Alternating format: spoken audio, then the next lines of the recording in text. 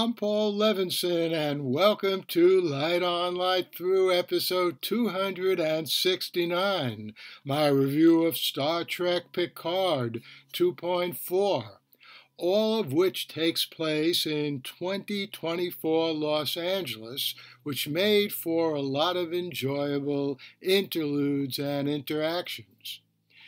Well, let's see. I guess my favorite, and there were many close contenders, is Picard and a much younger Guinan.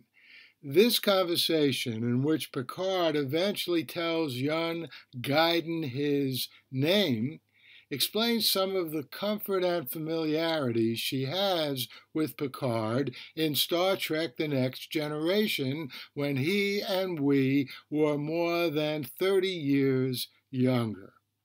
And as you well know, if you're a listener of this podcast, I very much like time weaves like that.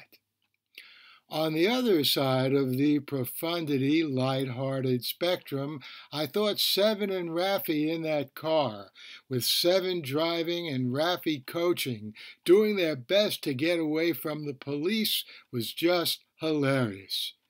You can't beat the way the two made good their escape, Agnes beaming them out of the car. Good thing, by the way, that the car had to stop for the beaming to work.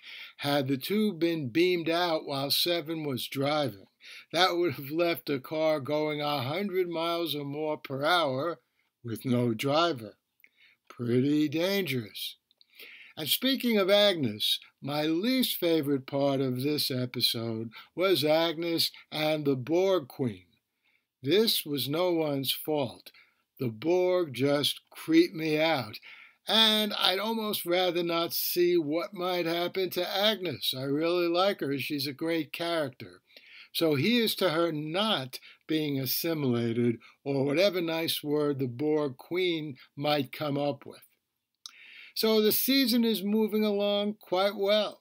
You know, I'm still annoyed by the commercial breaks. I mean, to have to subscribe to a service and still get commercials, that just doesn't seem right. By the way, does Hulu do that also? I'm not sure, but it's a measure of how good Star Trek Picard is that I'm putting up with it. And I'll see you back here next week with my review of the next episode of Picard. And I hope you enjoyed that brief review of Picard 2.4. I will be back here next week with my review of the next episode of Picard, and very, very soon with a review of the new episode of The Last Days of Ptolemy Gray. In the meantime, stay safe stay sound, and do what you can to help those brave, heroic people of Ukraine fight off the Russian invasion. The Light on Light Through podcast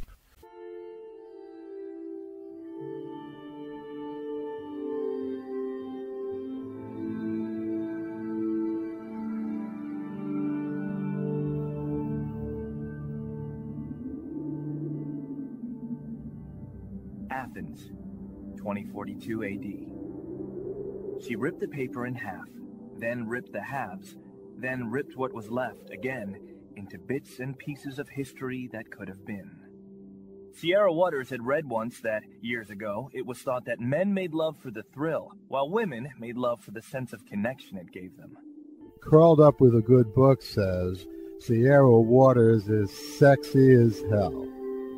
You can find out more about the plot to save Socrates by Paul Levinson at the plot to save Socrates.com.